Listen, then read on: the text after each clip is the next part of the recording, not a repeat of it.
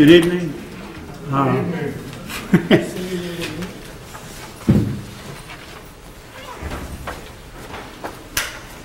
My name is Dr. Harold Isaacs. Um, And I'm Professor Emeritus of History here at Georgia Southwestern. This is, I'm beginning my 43rd year here. So uh, anyhow, what I want to do is uh, take this opportunity to welcome you to uh, the Third World Series. This is our 27th year. Uh, We started this on February 18th, 1981. And uh, there are some people in this room that were there then, including Mr. Neil Turner up here. And it was something, uh, major developments in the Caribbean and the Middle East and Afri- and uh, Southeast Asia. And most of those colleagues are not here anymore. So, but from there, um, we've continued that series, and this uh, evolved into the Association of Third World Studies in 1983, which is, um, we founded it here at Georgia Southwestern. Uh, now we're, we're all over the world, really. We have about uh, 450 members, and we have several chapters. And um, in fact, our 25th annual meeting is going to be in Lima, Peru, November 18th, 20. And um, I think we have something like 45 panels for that meeting. So, uh, if you would like to go, there's still an opportunity. We'll, we'll make an exception, uh, even though the deadline is passed for proposals. Uh, we also established the Journal of Third World Studies, and um, which is an outstanding periodical on third world problems and issues. Okay, well, we've can, this university has a lot of emphasis on third world studies. I think I got my point across. Um, I want to thank you for attending. We, uh, I mentioned Mr. Turner and Ms. Lopez here. I always recognize, uh, especially people from the community, and Lillian Lopez and Mary Faye Dudley. And then I see our president over here with his wife Connie, Dr. Blanchard. Thank you for coming. Thanks for your support. We appreciate it. And same with David Garrison, our dean of arts and science. So thank you for your support. And we have the panel up here, Dr. Hall, Dr. Smith, Dr. Parkinson, Dr. Smedder, and Dr. Cooper. So um, we have a pretty hot issue here, uh, subject tonight. Are the Iraqi people better off now than under Saddam Hussein? Well, I'm, not, I'm not a participant. And uh, so I, I, I was talking to my, I talked to my wife about it on the way over. In fact, my wife's over there, Doris. And, uh, I appreciate your support. Uh, but um, I'm gonna, we'll go on with the program here. We have uh, we have four featured speakers, and then the respondent is Dr. Cooper. Um, first speaker is Dr. Hall, who is professor of history here at GSW. He's a specialist in Eastern European history. He, he really knows world history. He's written a few books on Bulgaria and, and the Balkans, participates in a lot of conferences, and teaches a variety of courses.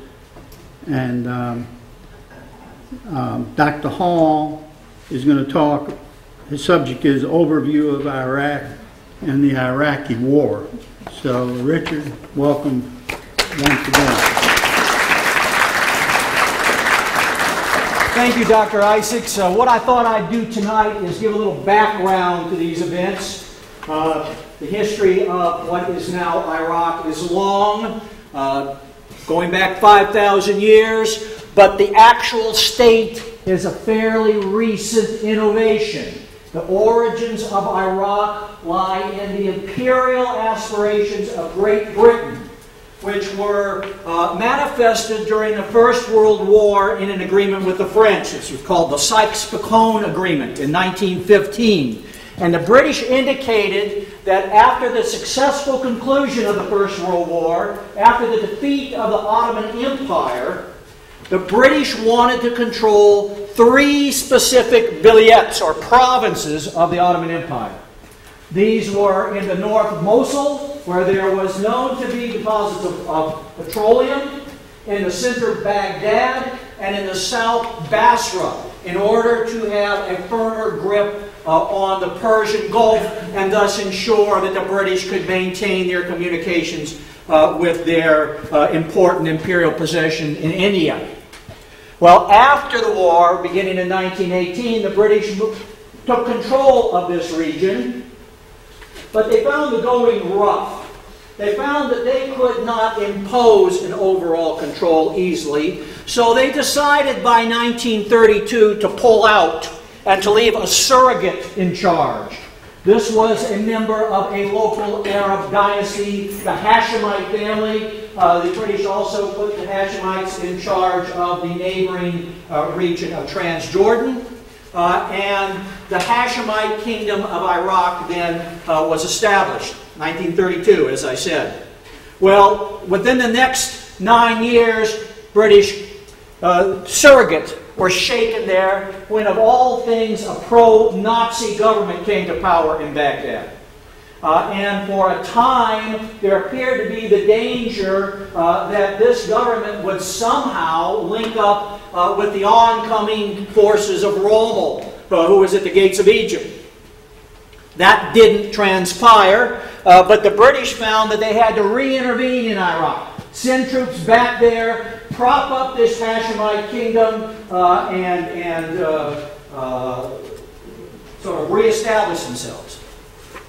In an effort again to extradite themselves from Iraq after the uh, Second World War, the British, together with American support, created uh, a uh, alliance system in the Middle East called CENTO, or Central, Central Treaty Organization.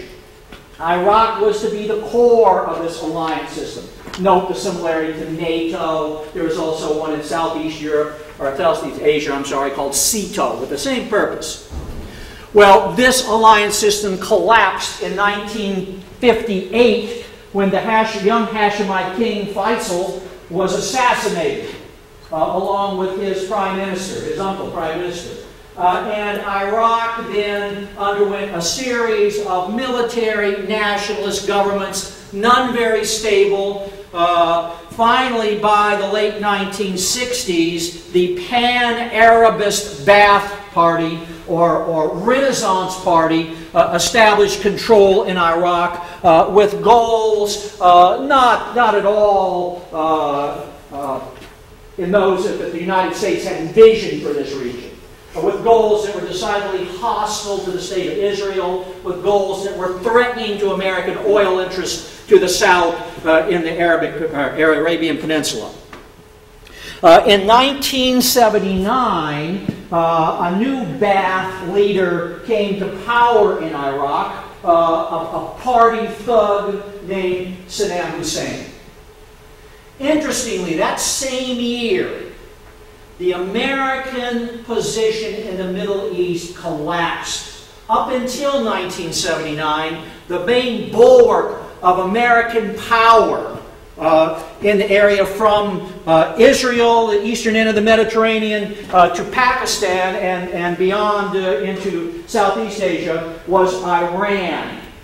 At that time, ruled by the Pahlavi dynasty, uh, um, Muhammad Reza Pahlavi, uh, a hereditary ruler. He took the ancient Persian title Shah. The Americans supported him because he was anti communist, because he was not an Arab, as the people in Iran are not, and because he was willing to sell oil to Israel. But in 1979, as you all will remember, his government collapsed and a radical Islamic government took over, uh, arrested or, or incarcerated the American diplomatic corps there and some other Americans, and made clear that the American presence in Iran uh, was for the time being gone. What are the Americans going to do? How are they going to restore their situation here in the Middle East? Again, we all know why the Middle East is important oil. We all want to be able to drive our RVs to Disneyland every summer. And so, the next year, the Americans found an opportunity to restore their situation. The next year, this thug in Iraq, Saddam Hussein, made one of the first of his several miscalculations. He looked across the border in Iran uh, and he noticed that this religious regime had yet to establish itself firmly. And he perceived an opportunity. Maybe I can attack those guys. Maybe I can get some more territory down at the uh, end of the Persian Gulf. Maybe I can increase my oil revenues. And when he launched this attack in the summer of 1980 against Iran, he found a supporter the United States. Uh, and the United States began to pump weapons and money, either directly or through surrogates, into Iraq. Saddam Hussein became an American client.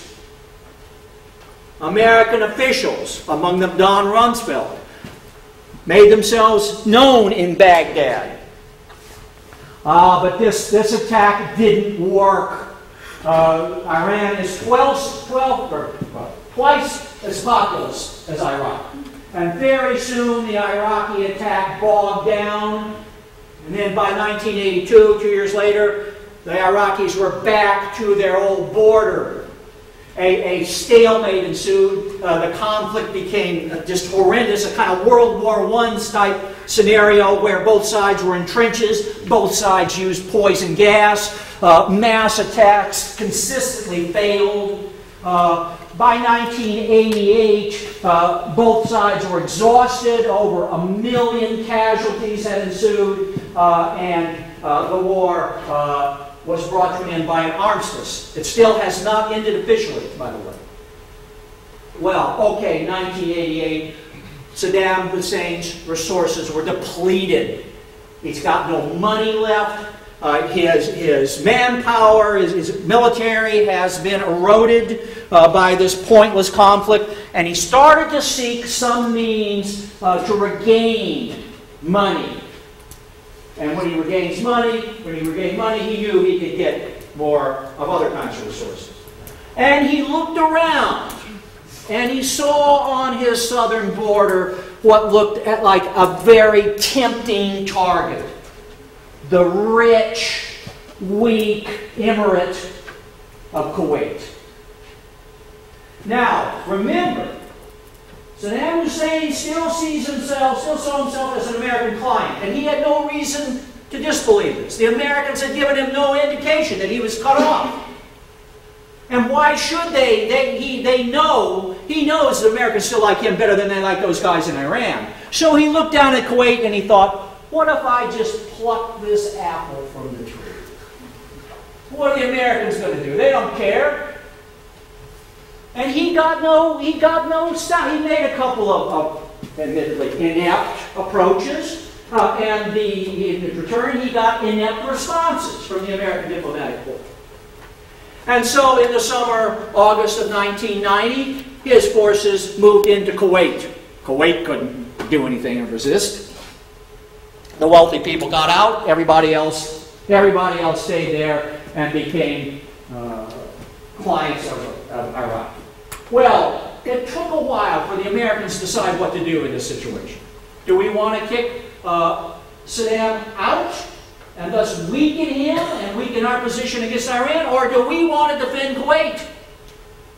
And, and the Kuwaitis launched a very effective uh, campaign. You may remember stories of infants in incubators being tossed out by the Iraqi soldiers. Never happened. You, you may remember uh, stories of other atrocities. And the American government decided they had to defend Kuwait. They assembled a coalition. Uh, it was ready to go by January 1991. uh, and uh, Operation Devil, or Desert Storm quickly, uh, quickly kicked Saddam Hussein out of Kuwait. But then it stopped. The then Secretary of Defense, Richard Cheney, understood that, uh, as he later said in 1994, Iraq was a quagmire.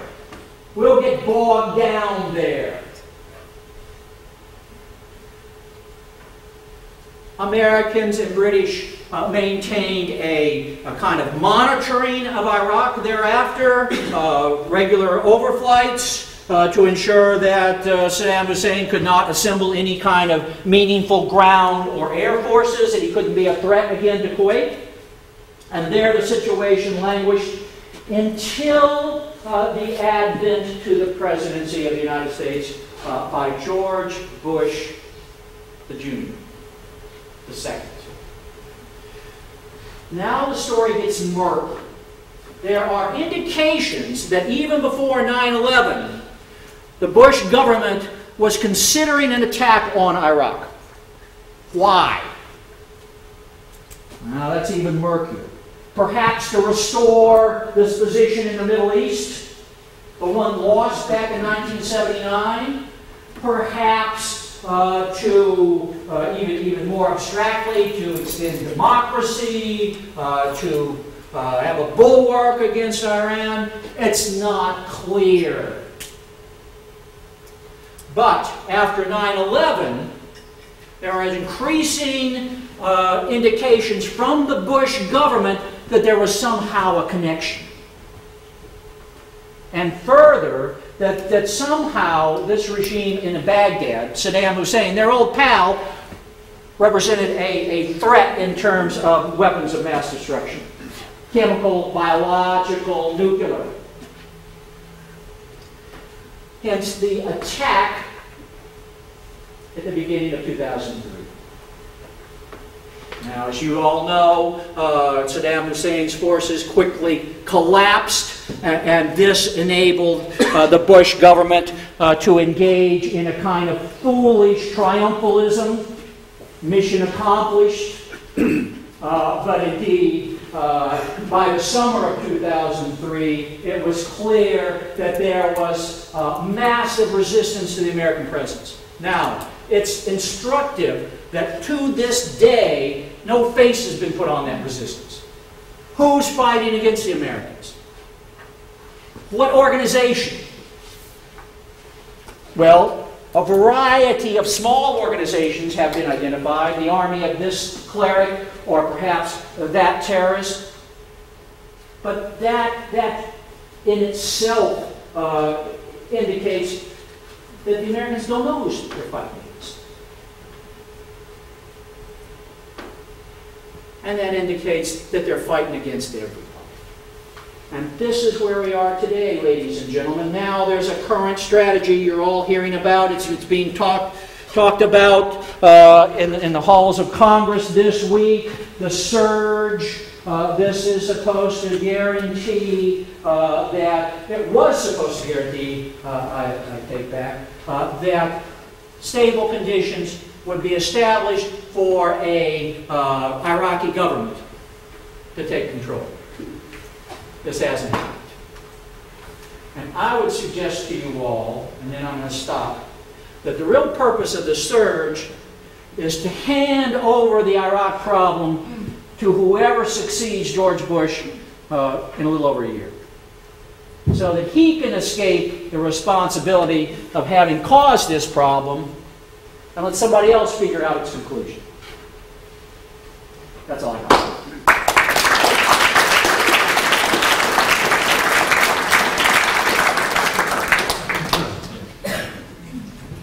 Before I introduce next speaker, I, I want to recognize a few other people. Uh, to my left here, I didn't see her because it's not that good light. Um, is Kathy Zack, who is uh, my assistant editor on the Journal of Third World Studies. And she's helped me now for um, over 20 years. And uh, again, I appreciate it. I don't know how many times I've told her. Um, and next to her is her husband, Paul, who is uh, retired from the uh, Secret Service. He was with President, uh, President Carter uh, over here in Plains. Also, Bill Harris is over to my right. Uh, I think we all know Bill and Linda Lee Purvis there. I didn't see y'all when I came in, and, and one of my colleagues, Amy Porter, and her husband Nathan, next to her. And I, is uh, is is Hal Ali here? Uh, well, I just wanted to mention because uh, that was one of the reasons I was late. Um, was that uh, she helped me. She's a student in pre med. Uh, set up the room. We had to rearrange all the tables and the chairs and everything. Uh, and uh, uh, but anyhow, I want to thank I'll thank her now publicly because uh, I couldn't have gotten it done without her. Um, okay, and if I've forgotten anybody else, I'm sorry. I see Sam Peavy back there. I appreciate seeing. And, uh, I think I can recognize. I see some of my students. Okay, that's good. I still have it. They're still letting me teach a class. So, um, our next speaker is he's he's new to Georgia Southwestern. Uh, Dr. Brian G. Smith, political scientist, um, who received his BA degree from Oberlin College and MA and PhD in political science from Brown University. And uh, he has various fields, you can see that on the brochure, and, uh, but is involved very much in the international area. He served as a research assistant at President Carter Center in Atlanta and has had uh, several fellowships, so forth. We're glad that he's joined us, and he's going to talk on results of political changes in Iraq since 2003. So please join me in welcoming. If I fail to project my voice, please let me know. I'm not reaching the. uh, the Why don't you use a microphone? Uh, Well, can you hear me? Yes, okay, good. I've been asked to summarize all the political changes and their impact upon the people of Iraq from 2003 to 2007 in 10 to 15 minutes. And honestly, I'd probably have an easier time summarizing 200 years of political change in America than these past four years in Iraq. They passed a new constitution in 2005, and so I want to take that as a reasonable starting point. That the government of the United States handed off official power, at least domestically in some areas, to the Iraqi people in this national government. And I want to read to you from the very beginning of this constitution, in fact, the preamble. It invokes the Quran and then says, we, the sons of Mesopotamia, the land of the prophets, resting place of the holy imams, the leaders of civilization and the creators of the alphabet, the cradle of arithmetic. On our land, the first law put in place by mankind was written. In our nation, the most noble era of justice in the politics of nations was laid down. On our soil, the followers of the prophet and the saints prayed. The philosophers and the scientists theorized. And the writers and the poets created. Despite this effort, right from the very beginning of the Constitution of Iraq, to portray their country as having some kind of unified identity, some kind of unifying social construct that could make it an independent nation and an independent people, Despite that effort, as Dr. Hall described, the history of Iraq is both relatively new in the sense that it only goes back 80 years as just simply an independent country of any kind whatsoever, but also filled with a great deal of history that includes a lot of conflicts between peoples inside the borders of Iraq. So there's no shared national identity at the national level. You see this right after World War I, when the British took three provinces of the Ottoman Empire and decided that that would be a nice little political unit. That would become the, this kingdom of Iraq they wanted to create. And people had a problem with that right from the beginning. In fact, it was as early as 1922 that the Kurds in the north declared an independent kingdom of Kurdistan, and the British Army had to be sent in to put it down. And it took a couple years to do it, to haul them back into this thing they were creating called the Kingdom of Iraq under the auspices of the League of Nations. So right from the beginning, there have been such conflicts. In fact, it goes back farther than that. The Kurds were rebelling against Ottoman uh, uh, rule even earlier than that. But nevertheless, what we've been left with is a country with enormous divisions inside of it that don't see themselves as a united people. Of course, I'm hopefully everyone here. I don't. Uh, I don't think any of us have time to go too deeply into the divisions between Sunni Arabs, Shiite Arabs, and Sunni Kurds. But those are, in fact, the three major groupings inside of Iraq, and they all have a great deal of divisions inside of them as well. The Shiite uh, uh, Arabs are in no sense some kind of unified people who all seem to seemingly get along and want to live together peacefully uh, in one single nation. In order to sum up all the uh, political changes in this short amount of time, I want to focus on one aspect of the political changes, and that is where does real political power lie in Iraq? Not necessarily does a constitution contain certain liberties and guarantees. Uh, they, it does. But where does actual power lie? Because the national government fails to have any kind of real legitimacy. One cannot simply point to this national government that was created and say, this government has the support of the, any real Iraqi people as some kind of government of all Iraqis. So the national government is not really not recognized as legitimate and lacks real power throughout the country. The central government can give an order and it's not followed elsewhere in the country. Doesn't even try to give many such orders. And in fact, the Constitution supports, this new Constitution of theirs supports the idea of very strong regionalism and local power. So I want to talk about those regional bases of power, those local power, because that's where power really lies in Iraq today, outside of uh, I'm leaving aside the issue of the power of the United States government and the United States military presence there. I'm speaking only of Iraqi power and its impact upon the Iraqi people, this change. Well, in most cases, you need two things to have real political power in Iraq today. You need to have, one, the right family name. You have to be a leader of the right family. Iraq politics, going back hundreds of years, is tribal or clan, depending on what part of the country you're talking about. Who your parents were, what, whether or not you were the descendant of a great leader of a particular people. Absolutely critical to have power today. The second thing you need to have power today in Iraq is guns and people willing to shoot them for you as uh, to paraphrase Thomas Friedman, he said, Iraq is a democracy today, technically a procedural democracy, but it looks a lot more like The Sopranos than it does The West Wing.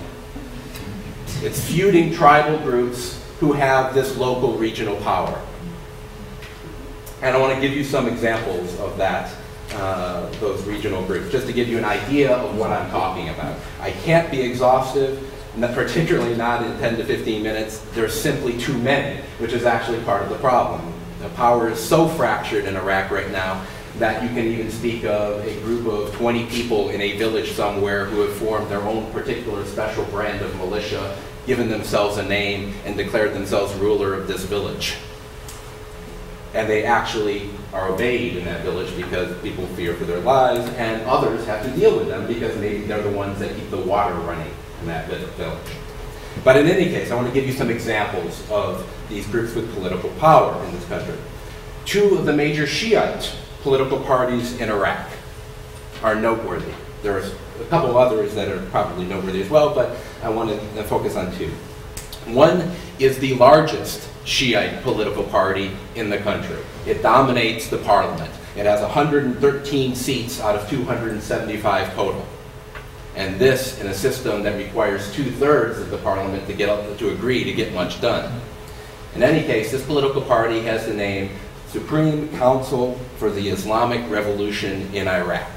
At least it did up until about May of this year when it decided that was too inflammatory of a name, despite the fact that it had called itself that since 1982.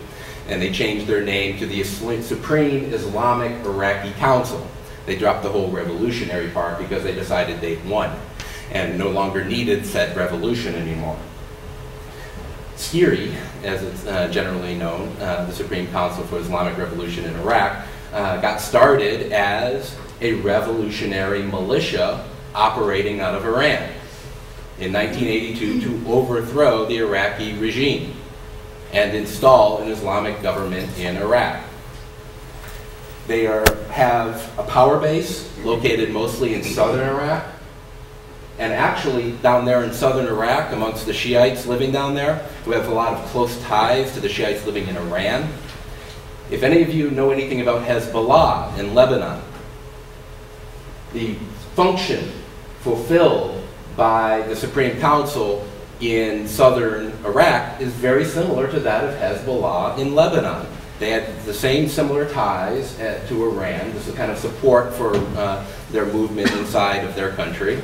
And they provide health services, social services. They keep the water running and flowing. They keep clinics working. They get things done as a government practically in southern Iraq. This has endeared them to the people of southern Iraq. It creates a power base for them, and that is, in fact, where most of their popular support comes from. On top of that, kind of like the uh, relationship of Sinn Féin to the IRA in Ireland, the Supreme Council also has a military wing. They got the guns and the people to use them as well. Uh, it's called the Badr Brigade, if you've ever heard of it, the Badr Militia. You may have noticed from time to time that the Badr Militia was fighting with some other uh, uh, organization over there. You might have heard the Badr Brigade was actually attacking British soldiers, or you might have heard the Badr Brigade was uh, blamed, at least, for the uh, slaughter of many Sunnis in a region, ethnic cleansing in an area, or even attacks on United States soldiers.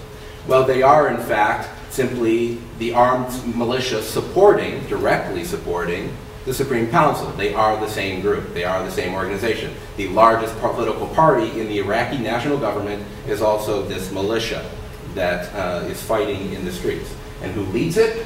Uh, a man named Abdul al-Hakim. And he took over from his father, and it looks like he is going to be passing, unfortunately, onto, uh, or fortunately, if you dislike the man, onto his son reasonably recent, reasonably soon. He has lung cancer apparently, but it is a family matter. The Al Hakims started the party back in 1982. They gained the support of their Shiite followers in Iraq in all the struggle over the years against Saddam Hussein and uh, uh, the uh, Baathists and the Sunnis in general. And now it stays a family thing.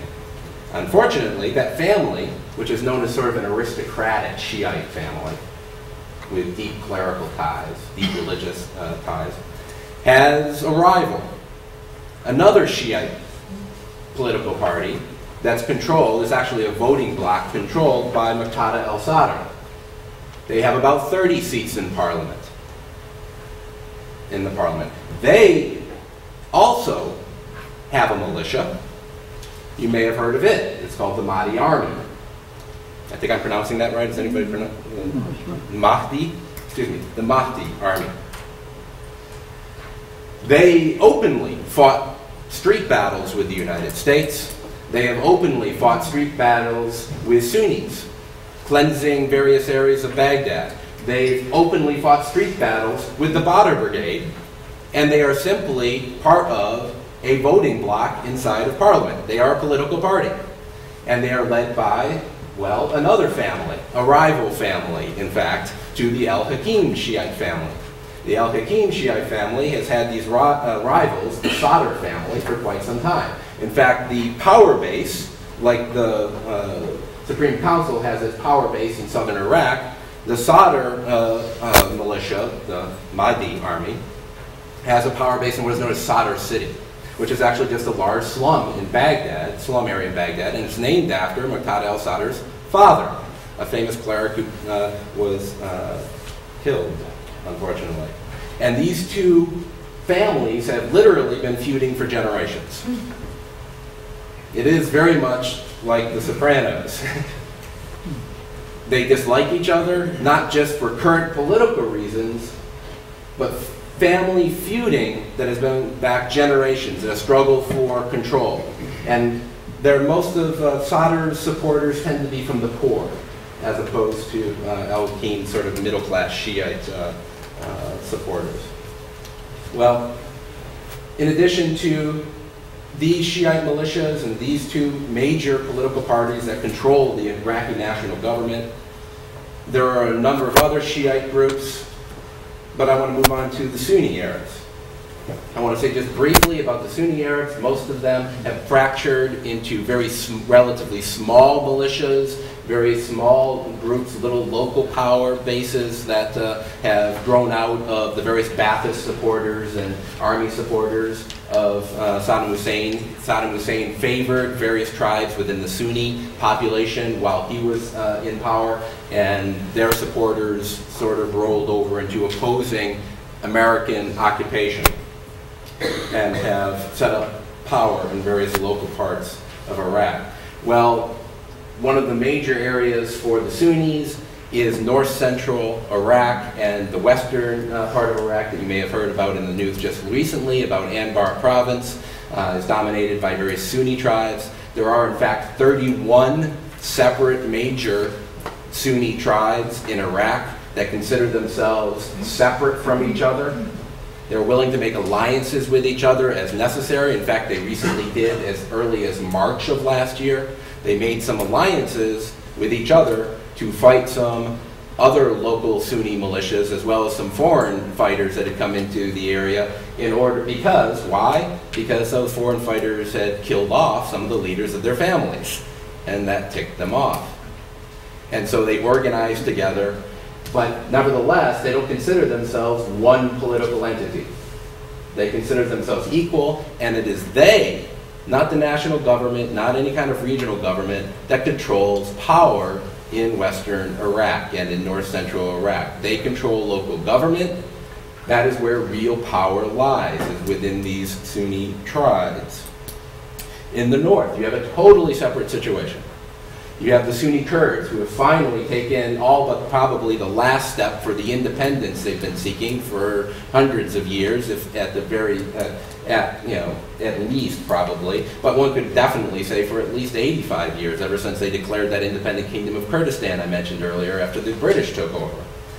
Well, uh, this, the Kurds continued to fight for independence the entire history of the 20th century.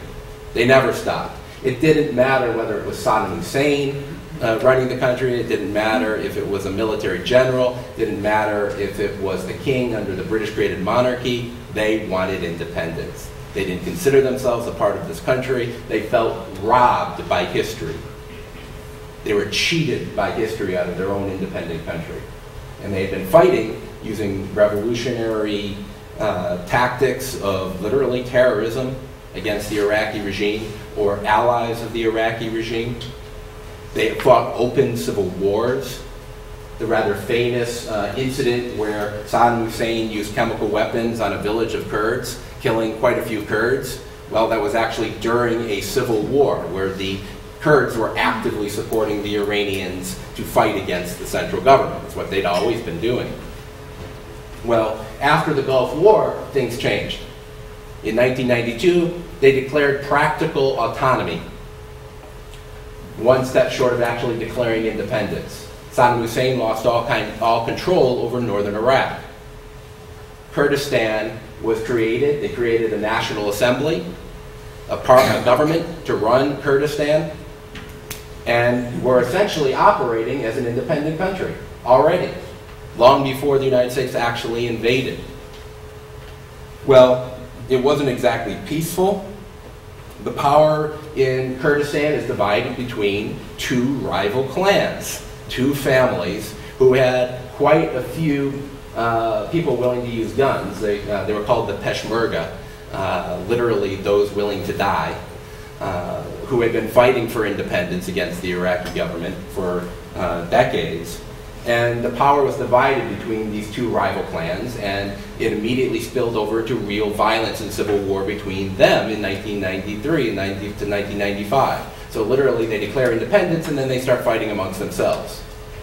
And it's not just minor clashes. Estimates are about 10,000 people died in these clashes between the two Kurdish clans.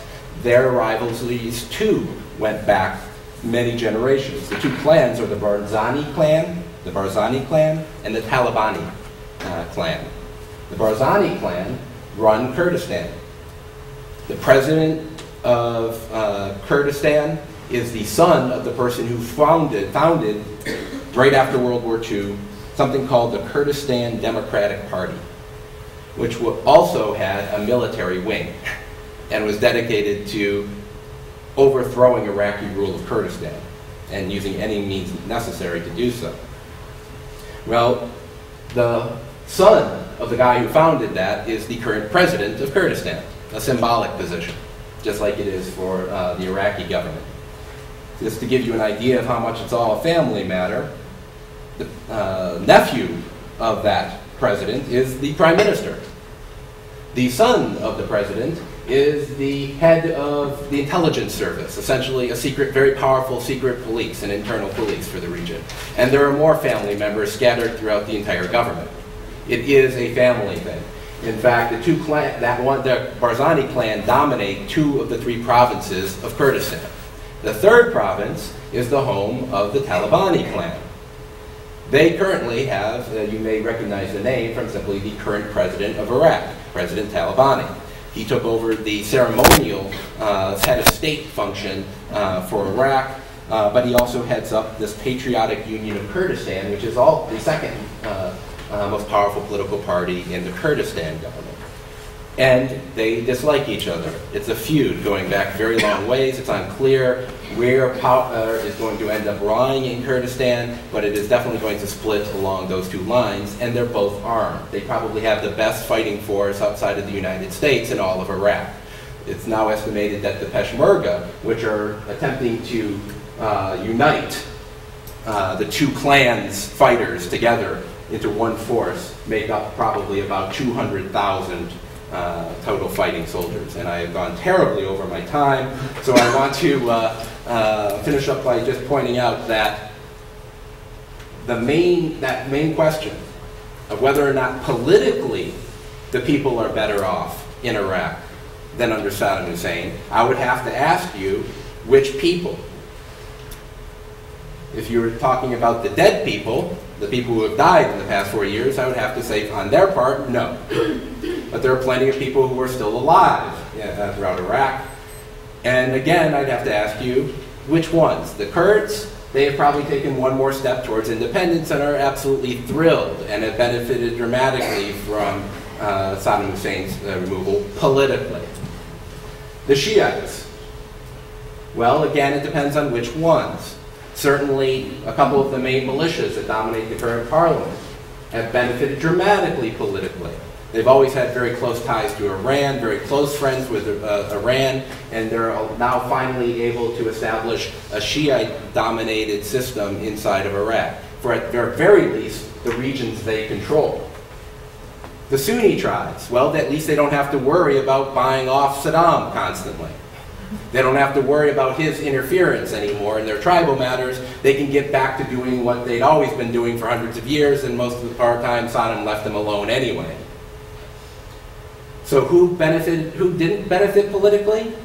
Well, quite possibly the rest of the country that actually isn't invested in one of those particular groups where power actually now lies rather than this central government uh, that's talked about all the time uh, on the news.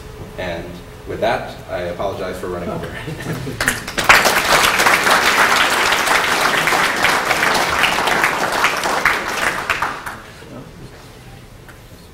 I was going to introduce uh, also, oh, there he is, uh, Glenn Robbins, who uh, was chair of our department, but now now he, he's associate professor of history sitting back there and has uh, a very important program, the POW program and oral history and so forth. Don't don't you have a program coming up? uh, Wednesday night at seven at the Ryland, and Friday at eleven here in the Student Success. Center. Uh, Wednesday at seven and next Wednesday, seven at the Rylander and what? And uh, Friday at eleven here in the Student Success Center. Uh, this Friday? Uh, Ne- Yeah, a week from Friday. Oh, a week from Friday at, uh, at eleven in the Student Success Center. Okay, thank you. Good. Uh, our next speaker is no stranger to this seminar series, uh, Phil Smedra. is an economist here, agricultural economist. He went to Penn State undergraduate, but then found the right way and came to the University of Georgia to get his master's and uh, PhD in agricultural economics. He, he worked for the Department of Agriculture. He served in the Peace Corps. Uh, he's, uh, his favorite project is Fiji. Yeah, it's not a bad place to go to. And in fact, he has an article coming out in the Journal of Third World Studies um, on, on, on that and health issues, lifestyle diseases, and so forth. And Phil is going to enlighten us about the impact of economic developments in our, uh,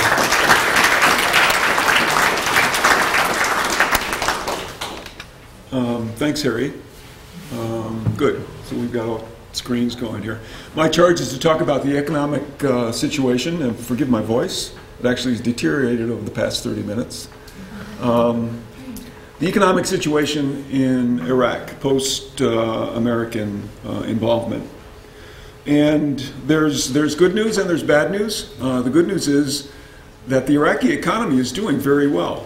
It's strangely enough, in spite of uh, the media uh, coverage that we have of uh, the hostilities that are going on there, the economy is pumping along very well. Uh, the bad news is that the principal reason why it's moving along very well is because of consumption spending.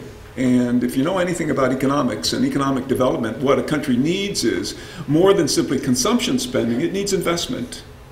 And in a country like Iraq, in a developing country, what is required is what's called FDI, foreign direct investment. And that's uh, not forthcoming because of the uh, security situation. So consumers in Iraq are spending. They're spending a great deal. Uh, the economy is estimated to increase last year in 2006 by 17 percent, uh, which is huge. It's much uh, much quicker pace than the Chinese economy. Um, that's one estimate. Uh, the World Bank estimates about 6%. So there's a big uh, difference in estimation, and one would expect there would be a big difference in uh, GDP estimation, gross domestic product estimation, because it's very difficult to uh, be on the ground there and collect data. So, uh, good news and bad news. Um, as you probably realize that uh, the um, Iraqi economy has been and continues to be dominated by the petroleum sector. Uh, 95% of foreign exchange earnings. Uh, as Dr. Hall mentioned, uh, there was a great deal of destruction during the, uh, the 1980s, the Iran-Iraq War, and a great deal of destruction in particular to the petroleum infrastructure in Iraq, uh, which caused a significant decrease in uh, revenues and the ability of that country to grow. All these pictures are, are of um, Baghdad, except for the last one, of course, which was out in the Persian Gulf. Um, all the major industries in Iraq connected to the oil industry, the petroleum industry, and petroleum uh, byproducts like fertilizers, chemicals, uh, and as this says, petroleum refining. Um, diversification prior to the American invasion was pretty much limited because the state was involved in the overall economy to a great deal. Um, and there wasn't a great deal of privatization. And as some of you know, especially some of you who uh, have been or uh, are currently my students. Um, privatization, uh, that is moving the state out of uh, uh, the economy, is the principal way that uh, economies grow. States are um, governments that uh, control economies are typically um, lethargic in, in growth, and by privatization, the privatization process causes growth. And also because Iraq was under international sanctions that were imposed by the United Nations beginning in 1991 up through the American invasion, that also uh, hindered the ability of uh, the economy to grow or any kind of manufacturing base to develop. Just a couple of things about Iraqi oil. Iraq sits on the third largest proven reserve pool of oil. Uh, the first is Saudi Arabia, the second is Iran, and then Iraq. Uh, proven reserves, um, but only about 10% of um, Iraqi territory has been um, uh, prospected. 90% remains kind of unknown, and some geologists uh, predict that probably up to 100 billion more barrels of oil lay on uh, the sands essentially in west, uh, the western part of Iraq. And also, um, Iraq contains about 100 trillion cubic feet of natural gas. To compare that to uh, American proven reserves of natural gas, in the United States, proven reserves are about 160 trillion cubic feet. So Iraq has about, you know, give or take, about two thirds of what the United States total proven reserves of of um, natural gas are. And this last point I think is an interesting one, and one that I didn't know about. Iraq has about 2,000 drilled wells compared to 1 million in Texas.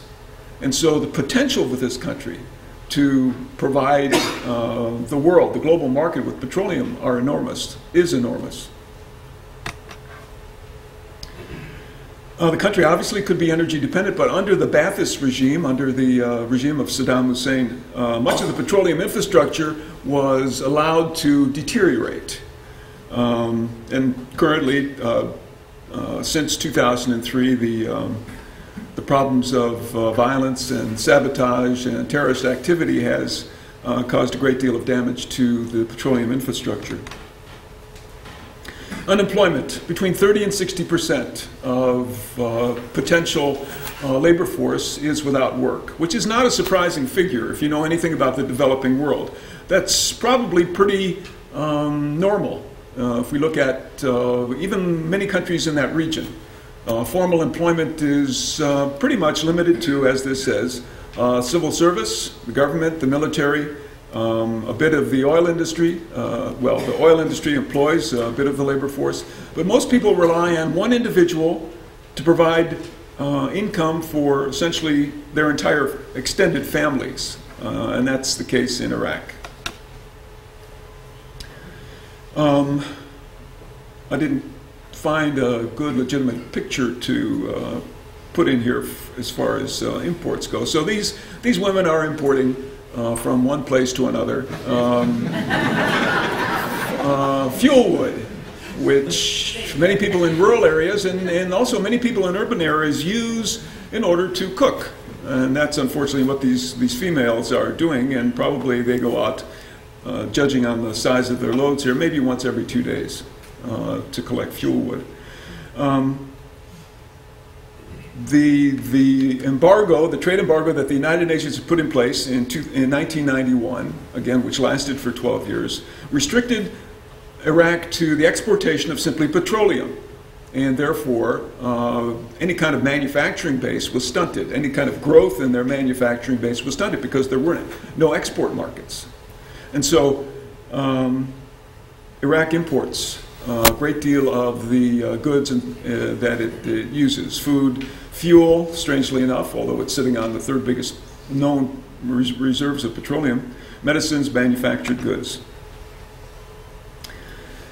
In spite of all that's gone on since 2003, the economy is booming, as I said. Um, mobile phone use is up uh, by five times over simply the past two years.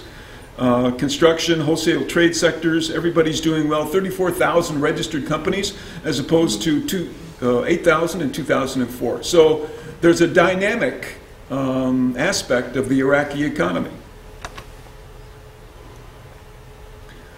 I mentioned this figure right at the beginning of my little talk here. Um, some estimates of the uh, Iraqi economy, and again, it's very difficult to estimate uh, gross domestic product for a country that's involved in this, this civil war. Uh, but some people, some analysts uh, estimate uh, growth last year at 17%. Again, again, I said the World Bank.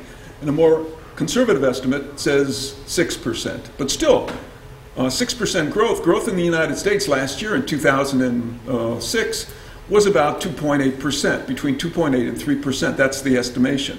And so Iraq is going to, growing, if we use just the conservative World Bank estimate, at twice the rate that the United States is.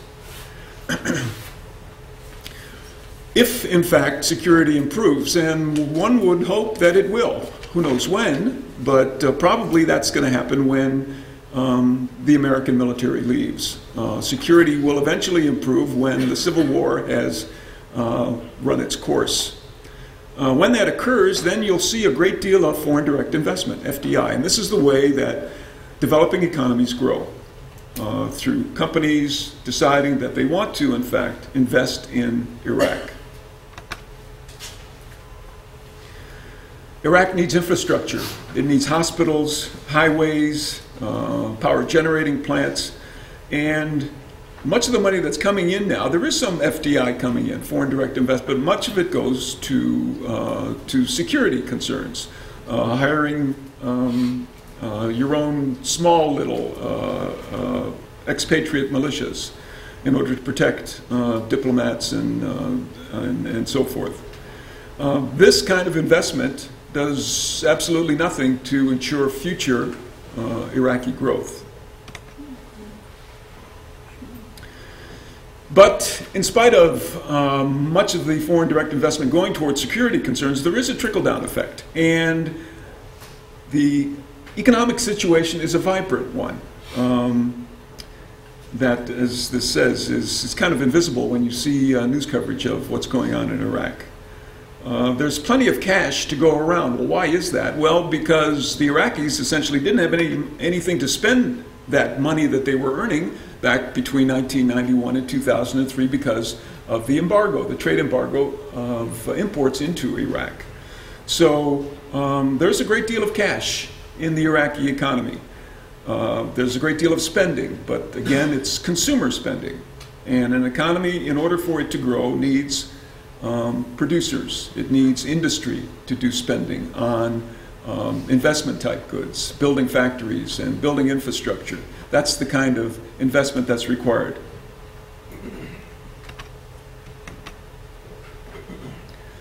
Salaries have increased by 100% since the fall of Saddam Hussein. Tax, taxes, income taxes, have decreased from 45% to 15%. And so there's a great deal of disposable income. The Iraqis have money. And one indication of that is what's happened to real estate prices in Iraq. And according to my little slide here, they've increased depending on what region of the country uh, you visit, and particularly in the north, that has been very um, calm relative to other parts of the country. Uh, real estate prices have gone up by several hundred percent. So even though we have this picture of Iraq as a country essentially falling apart, and in fact it probably will, um, the Iraqis have a great deal of confidence in the future of Iraq because they're buying property, they're buying houses, they're buying land, and the prices of those things are increasing. So, what really uh, needs to happen is obviously uh, the security situation needs to improve. Uh, it needs uh, the uh, the country needs a functional financial system. It needs a banking system. It needs financial markets the Iraqi Stock Exchange, uh, which used to be called the Baghdad Stock Exchange, the Iraqi Stock Exchange now uh, has been in operation since 2005. And they have a daily um, value of shares traded of about $2 million, uh, which is tiny. But at least it's the seed of something that uh, possibly will help that, eco- that economy grow. Talk to Iraqis in, in business, in finance. Uh, they realize that in order for uh, this country to grow, we need, they need a banking system and they need financial markets. This last point here um, bond market buyers, and there are bond markets there, have been willing to invest in short term um, sovereign debt. That is, the government of Iraq is issuing bonds. And there are buyers for those bonds, but the longest term that they're willing to risk their money for is six months. In the United States, um, we sell bonds, we sell our own debt up to 30 years into the future, and everybody perceives those bonds to be a good investment. Folks in Iraq and in the region that are involved in the bond markets are willing only to buy six month uh, Iraqi debt. So, um, You've got a business climate that is very inhospitable. You've got uh, sectarian violence that occurs on a daily basis, as we all know. Um, but companies, uh, especially companies that are selling direct to consumers, are thriving. Uh, as soon as the United States pulls out or pulls a majority of its troops out, the amount of money coming into that country is going to decrease. But the economy seems to be vibrant enough that it will uh, make up that loss in dollars coming in and develop its own uh, dynamism. And that's essentially all I have. Thanks very much.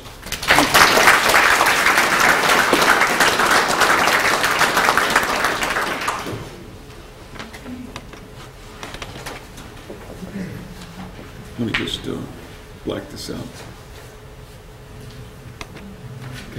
Oh. Next speaker is Dr. Brian Parkinson. He's a member of the history department. He, he got his BA in history from Georgia Southern and MA and PhD in Middle Eastern history from Florida State. He taught at Florida State in Tallahassee and London. He teaches a lot of third world classes and um, he's published, he's got an article coming out on um, um, Israel and, and uh, in Lebanon in the early 80s and um, in the Journal of Third World Studies also.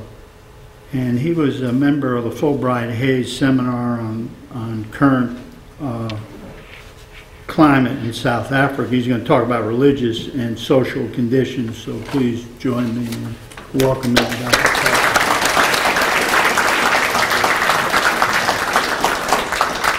Thanks. Thanks a lot. Uh, I just wanted to mention that Tony Snow called me today and said, you know, he doesn't like or approve of the word civil war or occupation.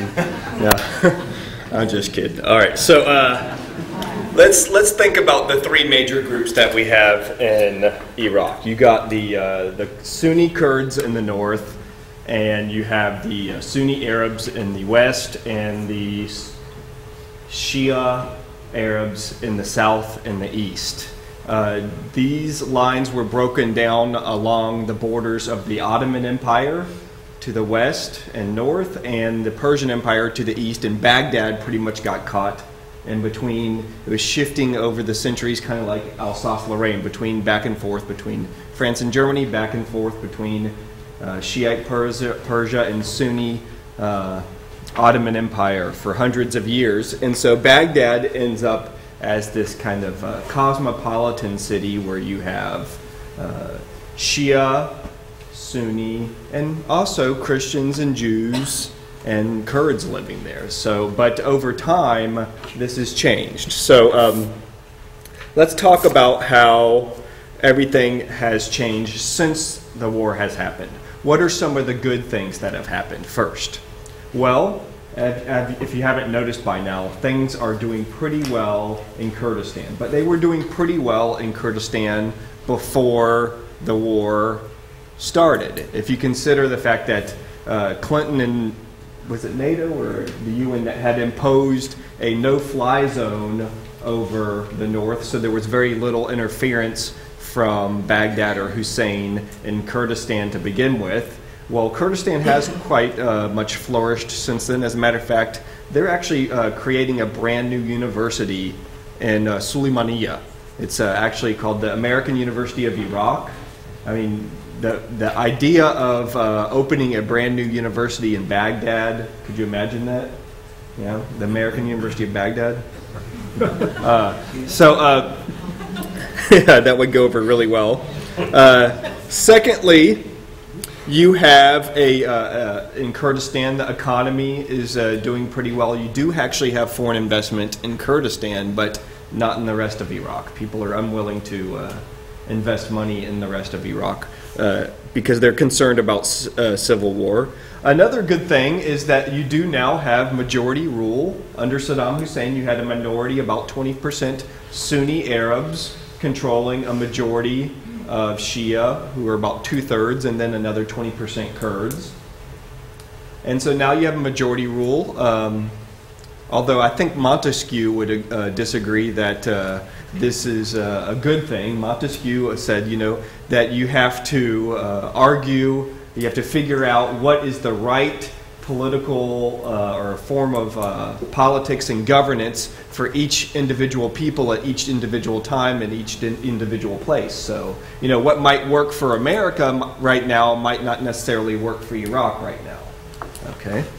And uh, finally, uh, in, uh, the environment is actually in, uh, improved a little bit uh, since Saddam. You have the uh, marsh Arabs returning to the marsh. You have the marsh is now reflooded.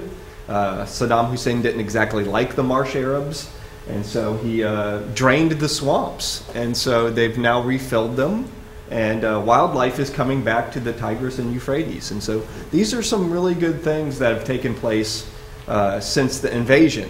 All right, so now let's talk about, uh, I guess, the bad. I won't get into the ugly. Um, so, what are some of the bad things? Well, Iraqis are actually dying at a four times faster rate from violence now than under Saddam Hussein.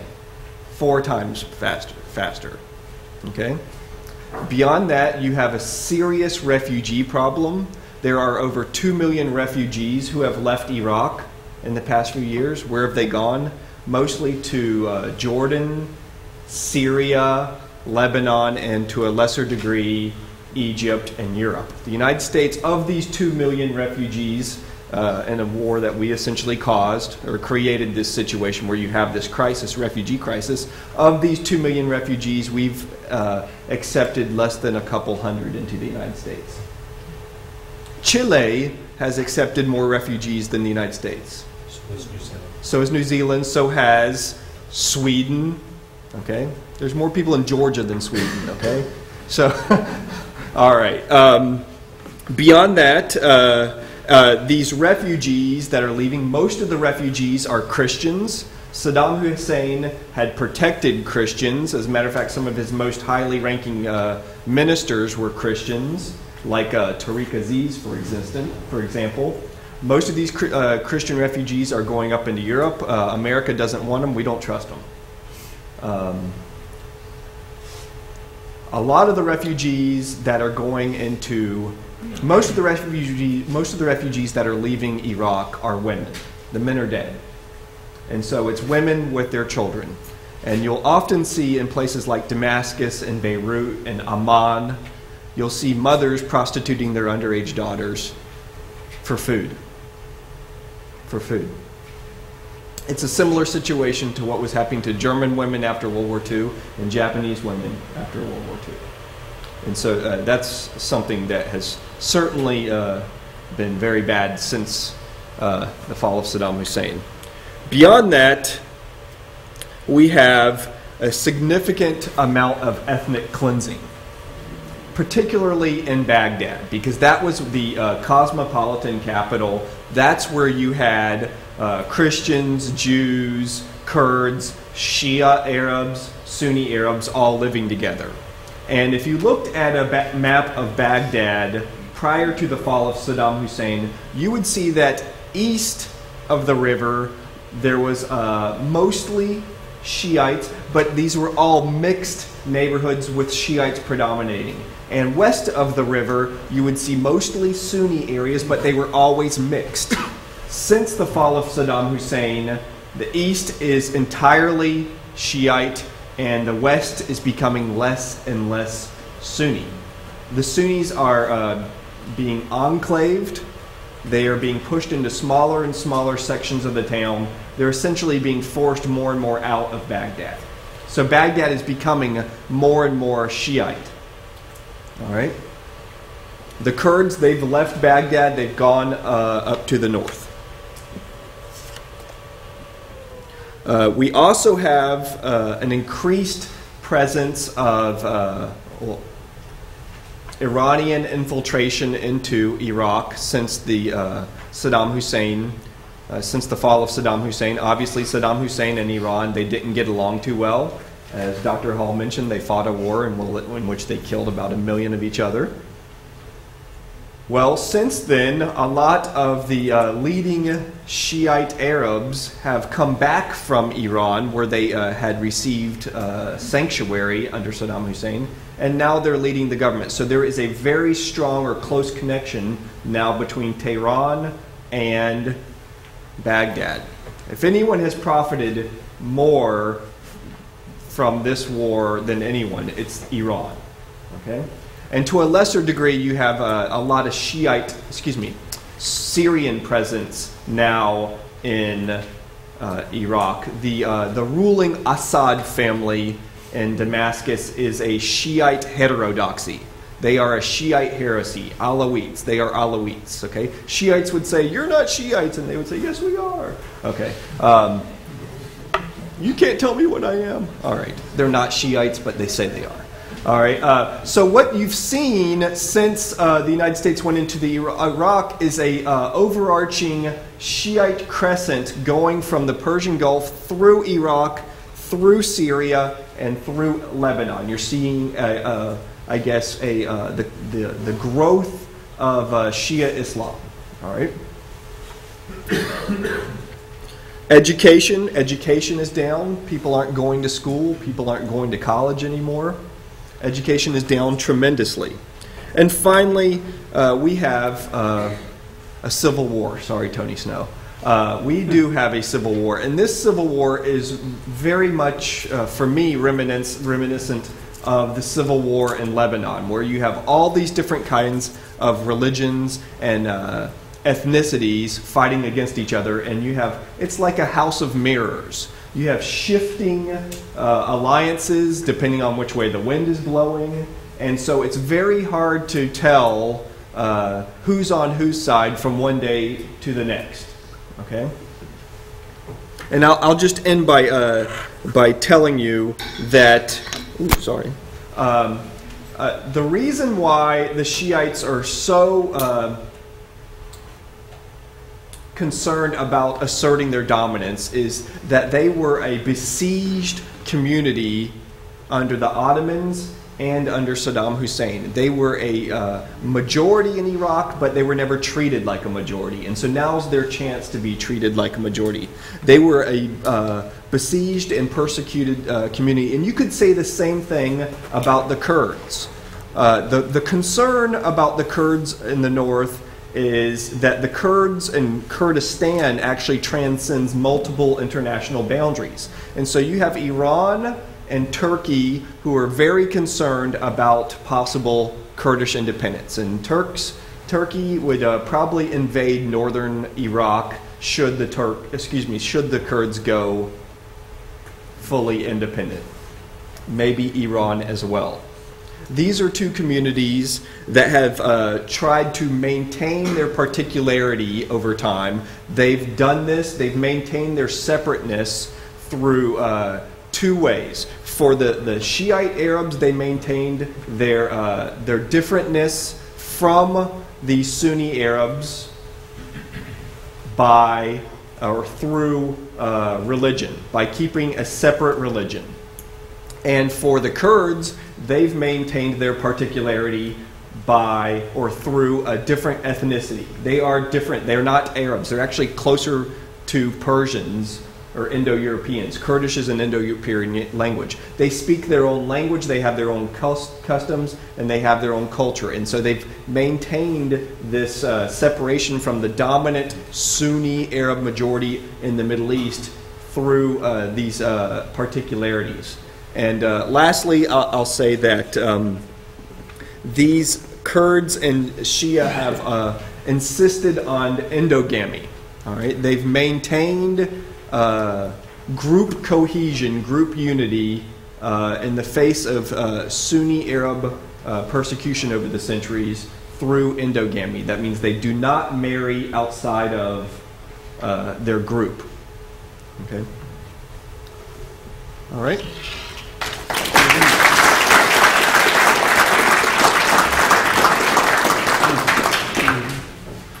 Our respondent is Dr. Miles Cooper, who received his undergraduate degree, I don't have that down here, but uh, I'll mention it, from Auburn University, an MA and PhD uh, from the University of Florida. He served with the Gainesville Police Department for 20 years and worked on his PhD uh, at the same time, and he, he's taught it uh, at uh, Auburn, I mean at Florida and Valdosta, and he's presently writing a textbook uh, on political science so, surveys. So Dr. Cooper's going to be our respondent. So.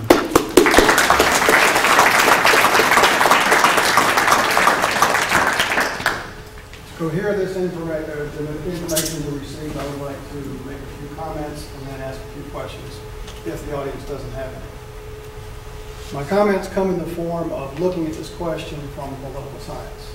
The reason I'm doing this is so you can structure your thoughts on the question that Dr. Isaacs has posed, which is, are the Iraqi people better off today than they were under Saddam Hussein?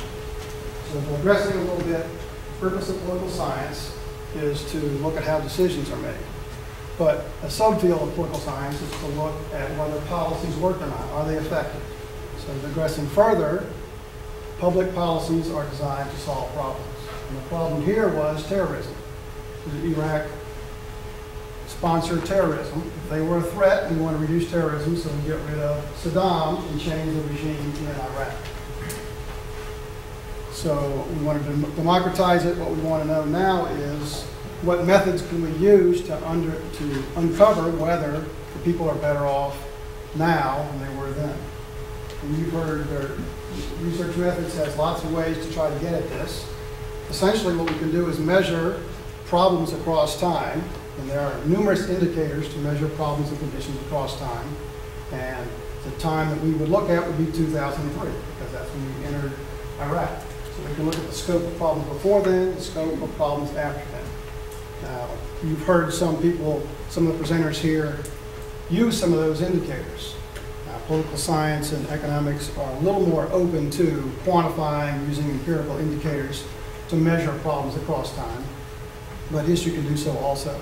So based on those ideas, thinking about indicators, the scope of problems before 2003 and after 2003, I'm wondering if any of you could expound on some of these indicators. You've already mentioned some of them. I've got a brief list of them here.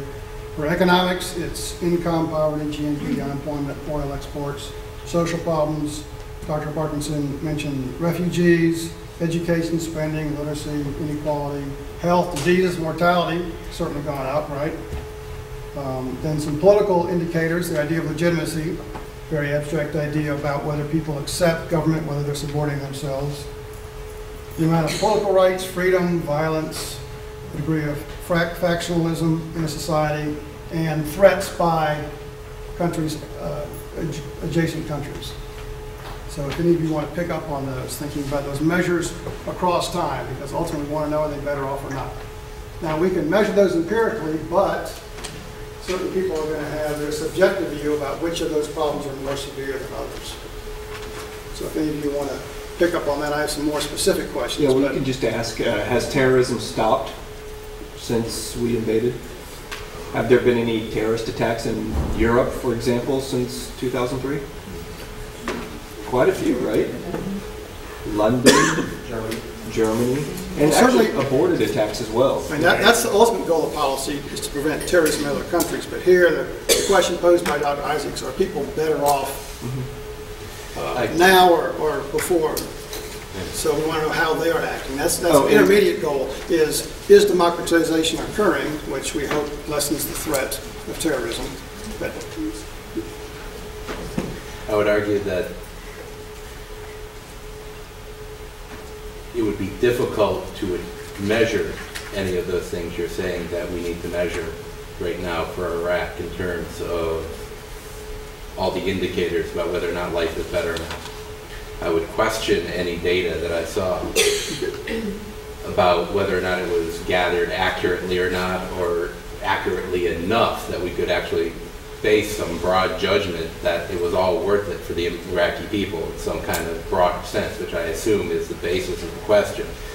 I mean, even basic economic indicators, you know, I would, I would immediately have a question when, you know, I'm told that six, the economy is growing by six percent, according to who?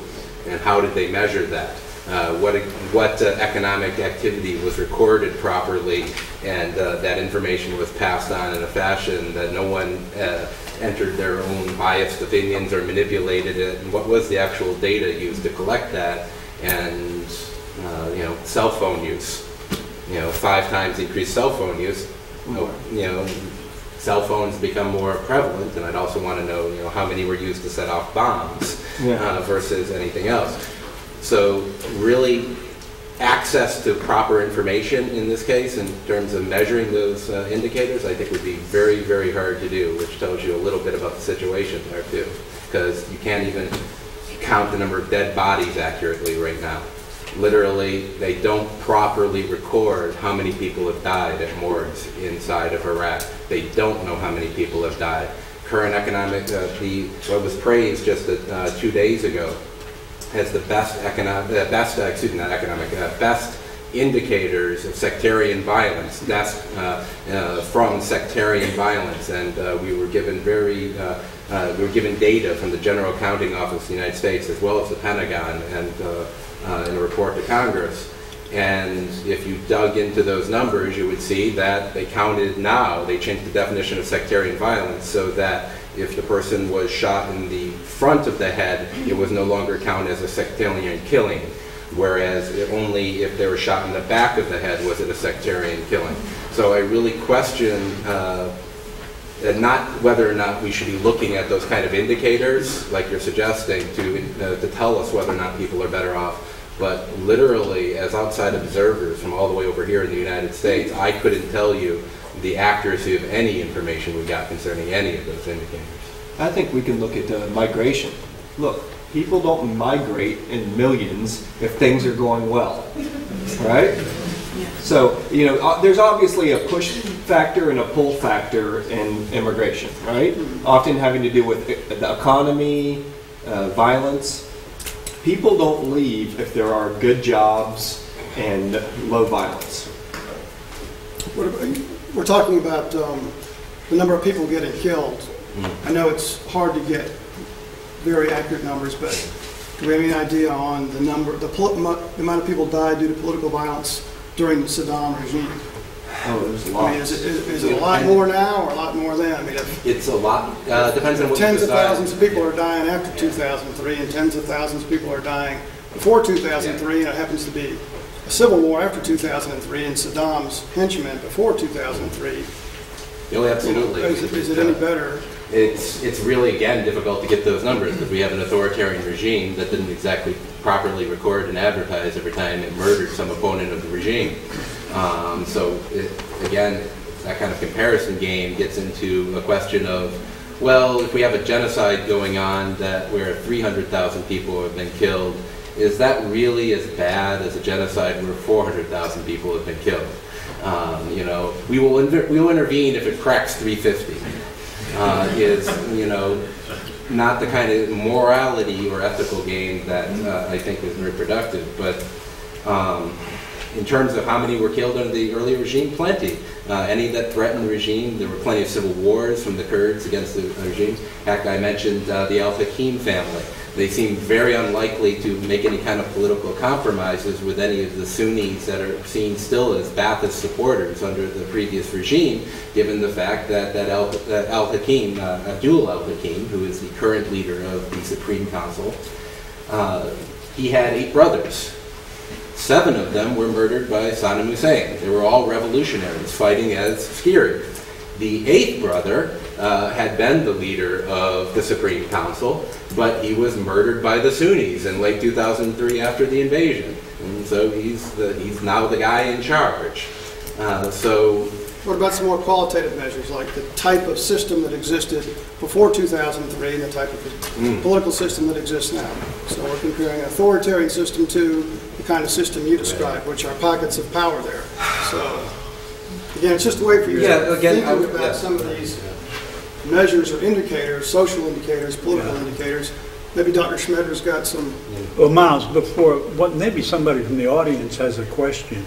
Would be a good idea to allow some people, please, in the audience. Yes, sir. Uh, Yes, sir. thank you. We keep comparing the numbers of dead people post and pre-Saddam regime, but how long was this political instability? Were these people killed? What's the time span in comparison? Because I think years. What we're looking at now is we're looking at a great number of people being victimized in a very short period of time, and the political instability that preceded our intervention, uh, the numbers are kind of close, but the time span was great. That's right. Saddam lasted on around 30 years. Uh, we're seeing uh, death rates now, or estimates of the number dead uh, equal to what he had over 30 years. We're seeing that in three years, four years. And I have another quick question. Um, we've gone in and essentially destabilized the area, and we've tried, we're trying to create a democratic government that's friendly to all the groups of people. But inside the country, I think you have different nationalist movements. Like, I think you see a lot of Kurdish nationalism still there, and you don't see that much evidence of Iraqi nationalism. No. It, all through the, you're absolutely right, all through the area of Kurdistan. I can tell you that journalists traveling in the area say they do not see a single indication that that entire region belongs in any way inside the country of Iraq, that it is part of Iraq. They don't see a single Iraqi flag, and this is an area of the world where flags really deeply matter, and you don't see any indication that there is a national government. Uh, you see maps up in official uh, offices of the government that describe Kurdistan, an area of Kurdistan that's actually much larger than the current Kurdistan, uh, including far more areas of Iraq that even Kurds think is ridiculous uh, in terms of the size that it's sort of shooting for. Uh, there has absolutely been this uh, uh, independent uh, Kurdish nationalism going on for uh, many, many years. Fortunately, by the way, in terms of destabilization, like um, Dr. Parkinson mentioned, uh, the, it looks like the Turks' relationship to Kurdistan, I might mention, uh, is uh, actually calming down a little bit. The Turks seem to be chilling a little. Uh, it's, it's no great, uh, mostly because they're getting the, uh, the Kurds under, a little bit under control. They're starting to reach deals a little bit with the Kurds living inside of Turkey. Uh, so that Kurdish nationalism might hopefully not spill over uh, violently into uh, neighboring countries as well. But absolutely, there's no unifying Iraqi nationalism that to be found anywhere in Iraq other than literally a few politicians who are on the fringe or represent relatively small communities. And literally, it is always noteworthy when they describe a- an Iraqi politician, they'll call him an Iraqi nationalist. Like that's something of note about this Iraqi politician in the national government. It's like saying that, well, we have this Democratic Congress or this Republican in Congress, and he actually believes in the United States. and that's noteworthy. Uh, Yeah. So, absolutely right. The Kurds would most like to see radical federalism, if not independence. Radical federalism is where they have the most amount of autonomy, and basically Baghdad cuts them a check. My final question, you mentioned possible independence.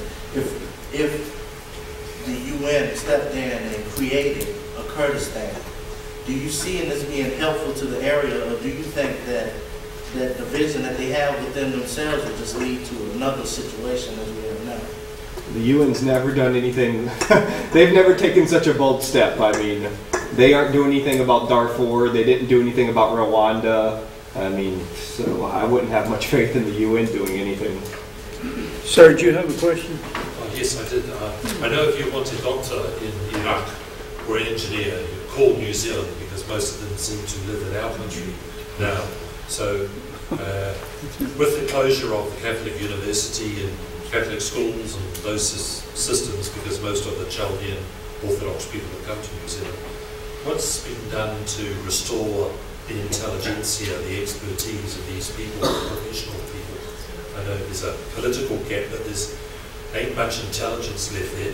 Yeah, I think they had a brain drain. The brain drain, yes. How's that going to be maybe not stemmed but recreated within this mire, quagmire of Well, if you were an Iraqi intellectual, would you stay in Iraq? You're the person with the wherewithal and the means to leave. we'll pay, we'll pay your fare? I, I think uh, what we're in now is, is just a transition period. Uh, eventually, this country will no longer be a country called Iraq. It will be uh, three different nations of Kurdistan, and depends on how the Turks feel about that, uh, and the people that are living in eastern Turkey, who are essentially Kurds, uh, a Shiite country and a Sunni country. And I think probably if the Americans weren't there, uh, and they had in fact deposed Saddam Hussein, uh, the Iraqis would uh, they would gravitate to these three different places, and they would create their own nation, and a nation that uh, nations that people there essentially believed in, rather than this British mandate that occurred 80 years ago. There's one thing that I, uh, an opening there for me to mention something, because I'd hate to actually have this entire uh, panel go by without mentioning it at least once. But the position of women in Iraqi society, particularly in the Shiite and Sunni dominated areas, which is the major- vast majority of the uh, population of the country, has declined rapidly as uh, more traditional and religious uh, approaches to the role of women in society have taken over as they're moving more towards very conservative uh, Sharia law.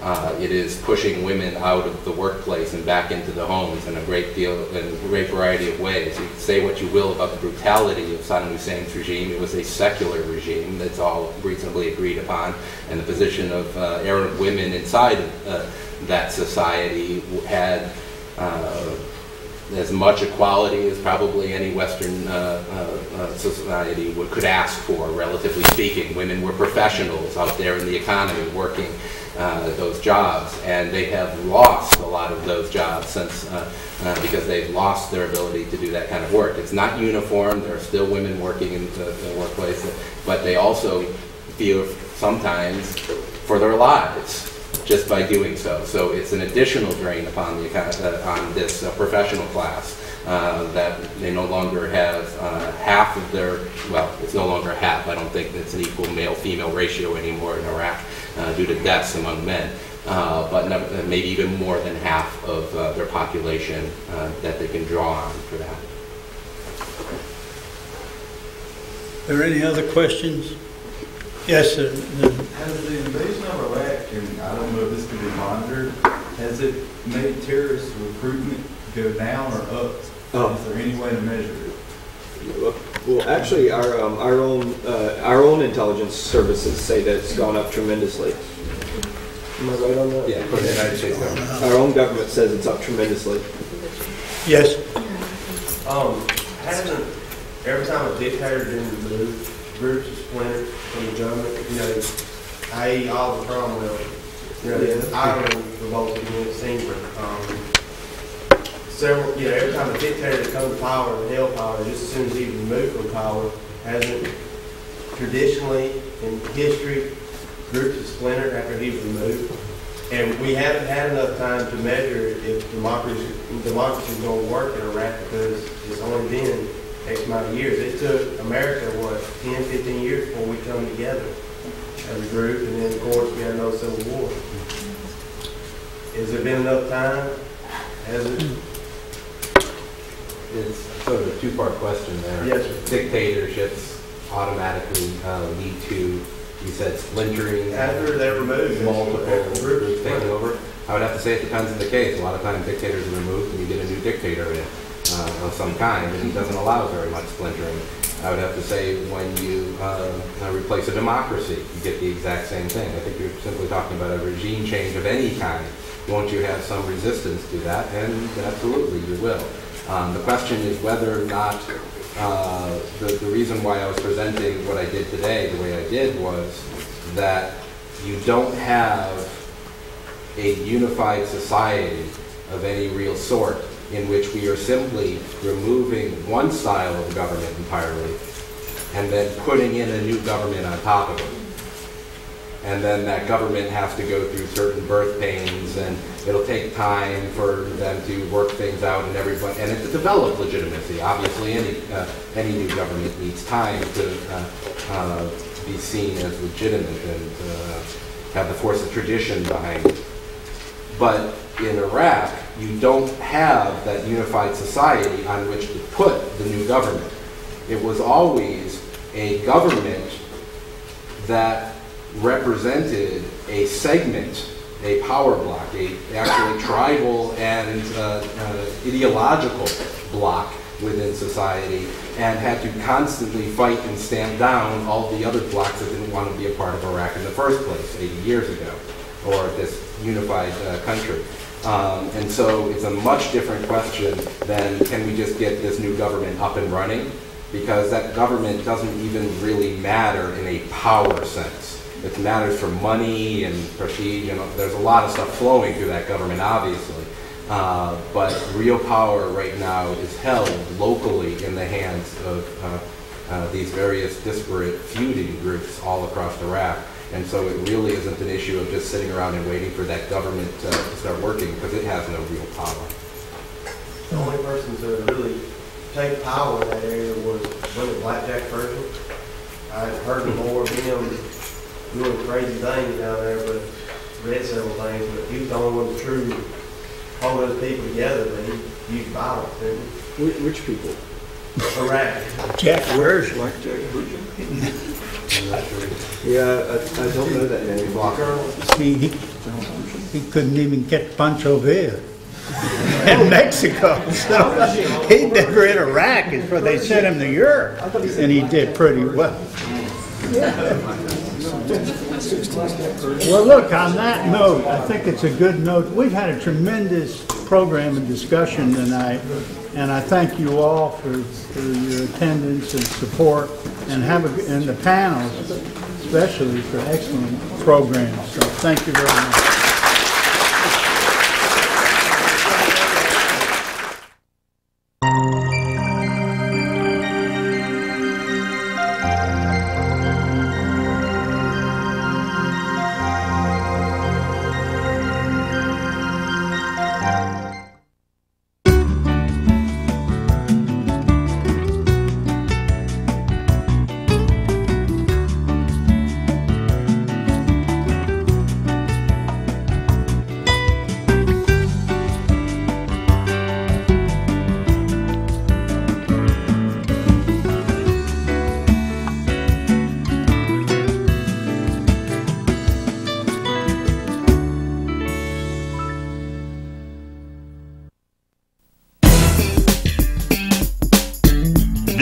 GSW TV, your campus and community connection.